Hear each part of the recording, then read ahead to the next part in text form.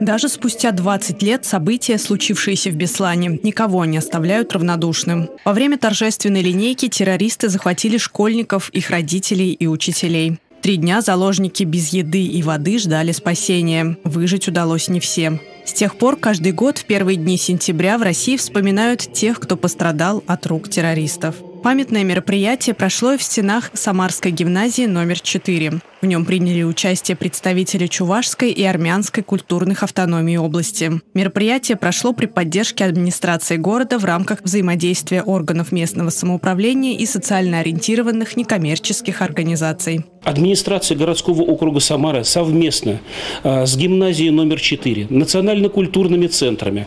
Здесь сегодня мы хотим донести до школьников, до учащихся то, что только вместе, только совместными, едиными усилиями мы способны противостоять экстремизму и терроризму как в нашем городе, так и в нашей большой стране. Мы сегодня в школе, чтобы показать, насколько мы вместе, насколько мы едины, насколько мы против всего этого, то, что происходило. И, к сожалению, на сегодняшний день опять происходит то, что вы должны были закончить еще тогда. Но надеюсь, что общими усилиями многонациональной России терроризму будет ставлен конец уже. В актовом зале гимназии собрались ученики средних классов. Со сцены звучали исторические факты. Они сопровождались стихами и песнями о скорби и памяти в исполнении учащихся и приглашенных артистов. Милена Мирзаян исполнила песню «Баллада о красках» на стихи Роберта Рождественского.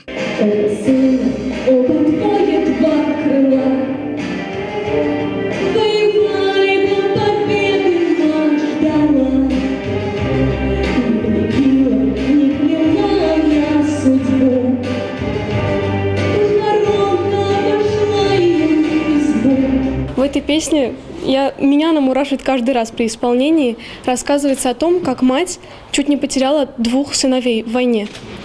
Но ей повезло. Одной на три села вокруг. Это слова из моей песни.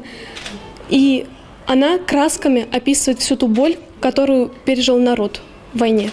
По словам директора 4 гимназии, воспитание детей в стенах образовательного учреждения строится на принципах дружбы и межнационального сотрудничества, в том числе в борьбе с терроризмом. Мы не можем оставаться в стороне. Мы, несомненно, воспитываем детей в духе э, интернационализма. И проводя данное событие в рамках школы, мы выражаем все протест такого рода террористическим актам везде, где бы они ни происходили.